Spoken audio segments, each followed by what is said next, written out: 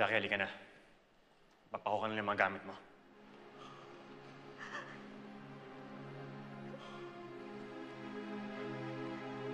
Jackie, ano ba?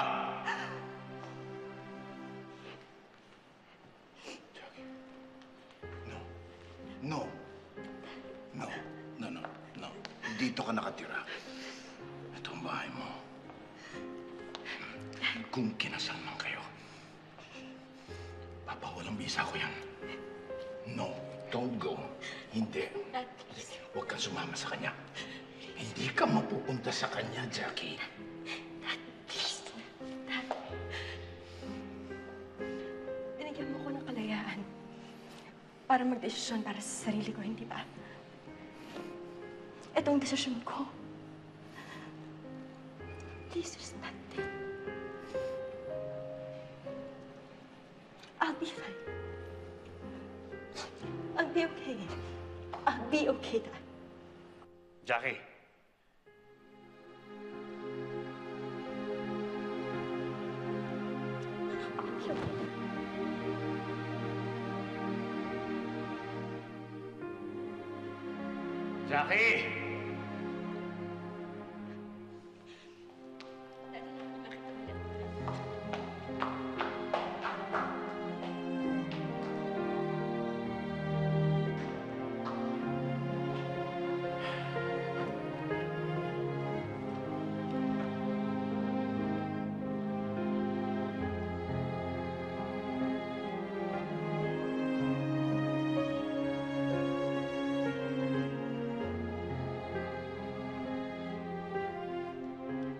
Ahan, bagal mo ngayon ah.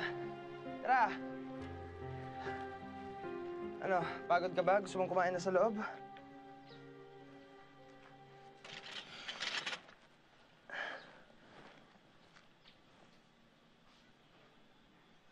Iisip ko kasi si Jackie eh. Alam mo, Han, masaya ako para sa pinsan mo. Though, you know, the embarrassments could have been avoided. Pwede naman hindi ganun kadrama eh. Pero mabuti nagdesisyon na si Jackie para sa sarili niya. Masaya din naman ako para sa kanya eh. Kaya lang, after all that's happened, isang buong gabi nang nakalipas, pero hindi niya pa rin ako tinatawagan or tinatext man lang. Huwag ka mag-alala. Tatawag din sa'yo yun. Naghahanap lang yun ng tamang oras. Sana nga. Alam mo, mahirap rin naman kasi ang sitwasyon eh. Ang babae hindi sumipot sa sarili niyang kasal, iisipin niya galit sa kanya lahat ng tao. Kung hindi man galit, sisisihin siya. Ang lalaki naman, pag hindi sinipot, syempre pagkalalaki na niya ang titirahin nun. Kaya for now, for JB and Jackie, tama lang na hindi muna sila magkita at alam nila yon.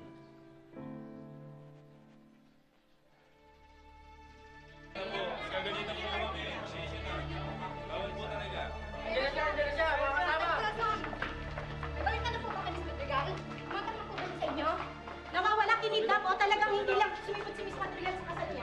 Paano ito nakakapekto sa kumpanya nyo at PDBC? Nakausap niyo ba si Mr. Madrigal? Kung hindi lang ito tungkol kay Jackie, hindi na ako tutungtong sa pamamahay na to. Nasaan ang anak ko? Munig, nakikiusap ako sa'yo. Puntahan mo si Jackie. Sabihin mo sa kanyang bumalik na sa akin. Sa atin. Sasaktan lang siya ni Ellie. Sasaktan lang siya ng asawa niya. Baka sa'yo makinig ang anak mo. Please. Wow, mag-asawa na kayo ulit. Di ba ang mag-asawa nagkakaanak? E di dapat marami na akong kalaro.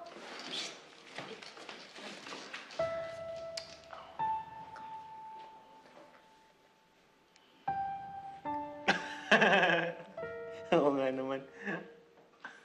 Tama nga naman si Mimay, no? Ilan gusto mo? Alam ko na, bibigyan kita ng isang buong basketball team na kalaro. Oo. Gusto mo yon? Ang dami nun, ha?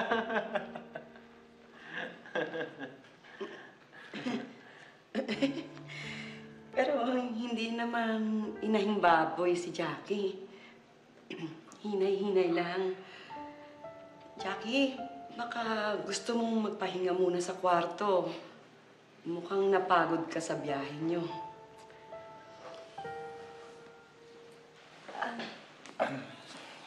Ellie, sasama muna ako kay Nanay Bebin sa taas, ha? Okay lang. Sige, sige, sige. Mag magpahinga ka muna. Sige, doon ka muna. Pahinga ka. Ayusin ko muna yung sa kusina. Ay, ay, basta mo, tulungan na kita. Halika nga ba? Nay, um, papanik Hindi. ako. Mag-uusap tayo.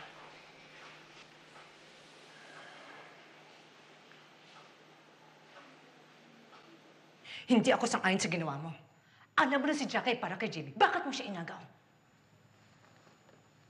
Minsan ay naging akin din si Jackie. Minsan. Minsan, Ellie, pero tapos na.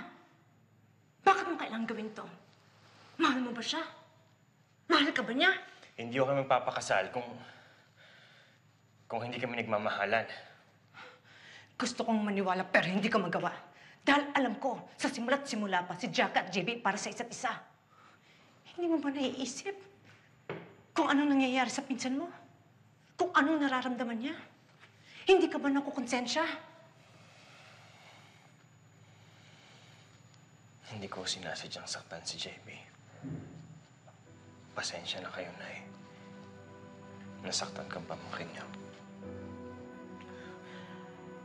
Hindi nababawasan ang pagmamahal ko dahil sa ginawa mo. Gusto ko lang maintindihan mo na hindi ko suportado ang ginawa mo. Mali ang hakbang mo, Ellie. Dahil sa ginawa mo, imposible na mabuo ang pamilya natin. Nating mga rohas.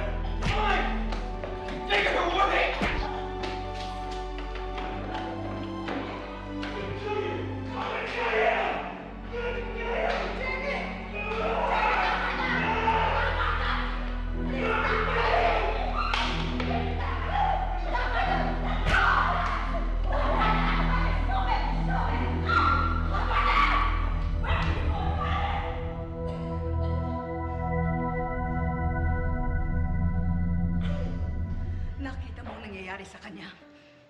Halos mabaliw siya sa kahihiyan. Hindi siya makatulog, hindi siya makakain. Gloria, wala ka ng awa sa anak ko! May malasakit ako kay Jaime! Pero mas mahal mo si Ellie! Si Ellie, na ngayon lang dumating sa buhay mo, mas mahal mo siya sa kaysa sa akin na anak ko! Alam mo, Gloria, pinagsisisihan ko ang araw na hinanap ko si Ellie. Ang araw na binalik ko siya sa'yo. Dahil wala siyang kwentang tao, napakasama ng anak mo!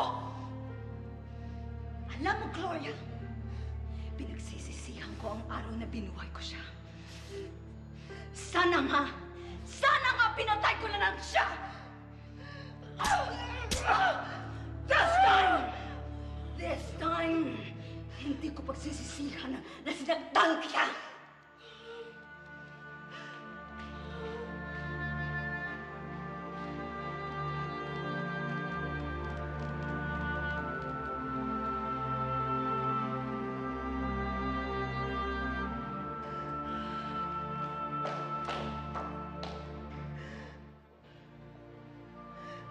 Have done to this family!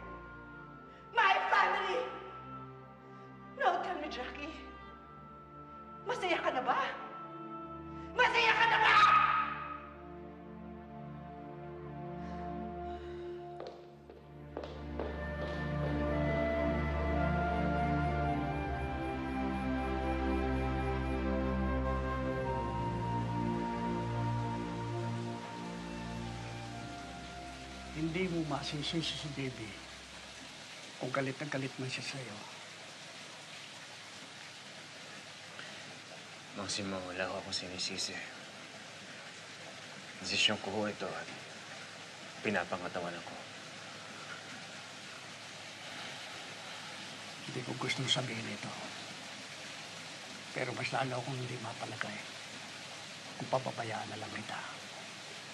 Eli, hindi ko makita yung Eli na nakilala ko sa baryo. Nasaan ang prinsipyo mo? Wala na ho yung element ng simo. Sinaid na ng pagmamahal na wala namang kinahinatnat. Inapin ng mga hayop tulad ni Fidel.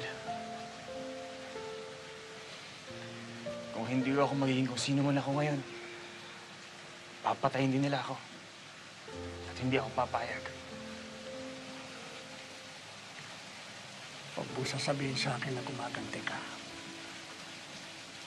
Kaya inagaw mo si Jackie. Na gumaganti ka kay JB, gumaganti ka kay Don Fidel, gumaganti ka kay Jackie. Dahil kung pagganti lang ang dahilan ng lahat ng ito, bakit hindi mo na nang kasuhan si Don Fidel sa korte?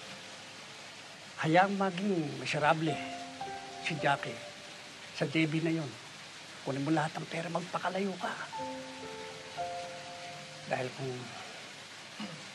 dahil kung ang dahilan lang, sasabihin mo sa akin, hindi ako naniniwala.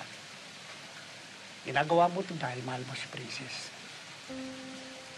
At hindi mo lang kayang aminin yun.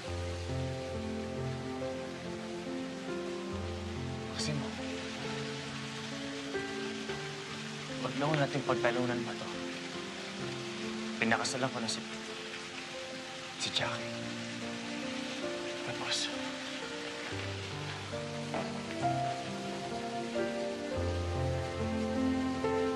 Uminom ka muna, anak. Namumutla ka na sa kung ano-anong nangyari ngayong gabi. Ma- mabuti na rin at wala ka sa labas kanina.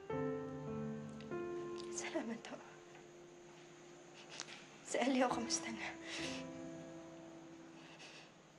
Maliit lang ang mga basa. Jackie, may gusto ka bang sabihin?